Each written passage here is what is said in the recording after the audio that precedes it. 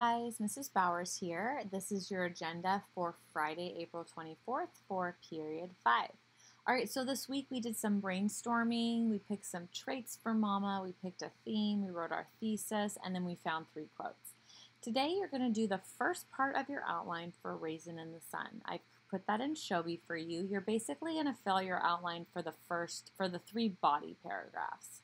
So you're going to go to Showbie and you are going to find the assignment that says outline part one.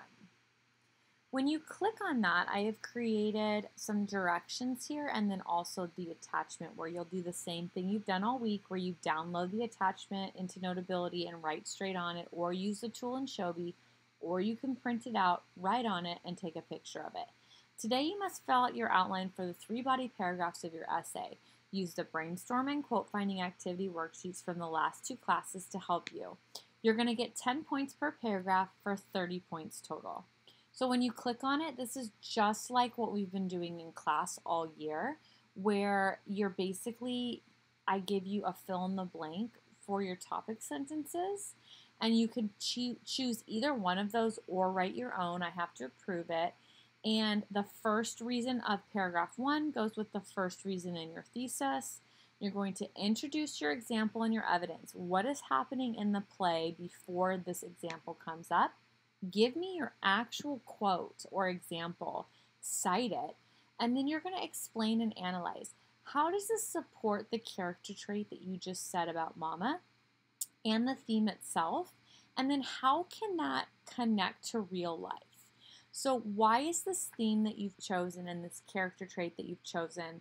How does this apply to real life? Why is it important that we have this theme in our life? Why is it important that we have these character traits in our life? You're going to do the same thing for all three paragraphs, just using your outline, using your brainstorm, using your quotes to help you fill this in.